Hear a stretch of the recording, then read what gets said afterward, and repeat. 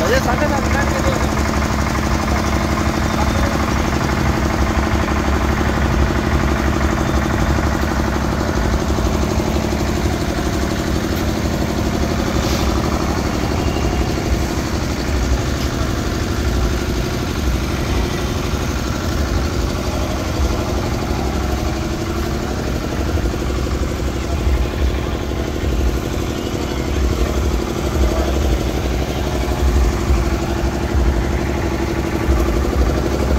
ਪੁਰਾਣੀ ਬੱਸ ਦੇਖ।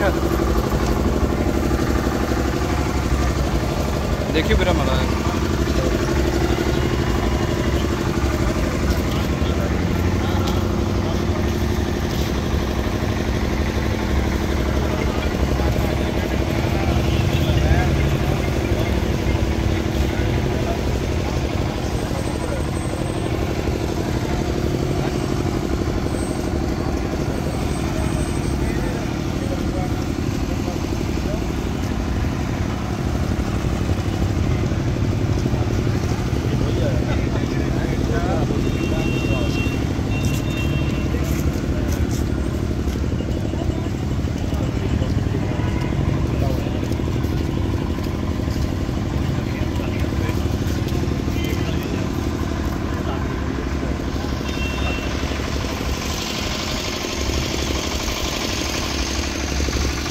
ਹਾਂਜੀ, ਸਤਿ ਸ਼੍ਰੀ ਅਕਾਲ ਜੀ ਕਿਸਾਨ ਭਰਾਵਾਂ ਨੂੰ। ਮੈਂ ਤੁਹਾਡਾ ਬਿੰਦਾ ਹੋਰੀਆ ਅੱਜ ਜਿਹੜੀ ਮੇਲੇ ਦੀ 2 ਤਰੀਕ,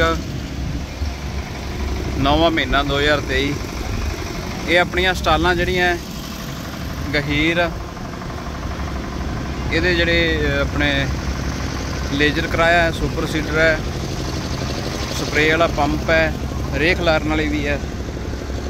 ਇਧਰ ਲੈਮਕਨ ਦੇ ਆ ਸੈਟਿੰਗ ਵਾਲੇ ਆਪਾਂ ਕਰੀ ਜਾਂਦੇ ਆ ਸਾਰੀ ਹੋਰ ਬਸ 1 ਘੰਟੇ ਤੱਕ ਜਿਹੜੀ ਡਿਸਪਲੇ ਸਾਰੀ ਚੀਜ਼ ਦੀ ਲੱਗ ਜਾਊਗੀ। ਤੇ ਇਹ ਹਾਲੈਂਡ ਦਾ ਨਿਊ ਹਾਲੈਂਡ ਦਾ ਸੈਂਟਰ ਦੇ ਵਿੱਚ ਹੈ। ਇਹਦੇ ਵਿੱਚ ਆਪਾਂ ਰਾਉਂਡ ਵੇਲਰ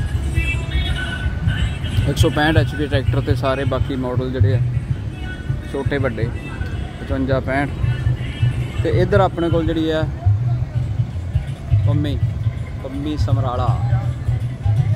ਉਹਦੀ ਜਿਵੇਂ ਜ਼ੀਰੋ ਡਰਿਲ ਹੈ, ਸੁਪਰ ਸੀਡਰ ਹੈ, ਇਹਦੀ ਵੀ ਰੇਖ ਲਾਰਨ ਵਾਲੀ ਆਉਂਦੀ ਹੈ।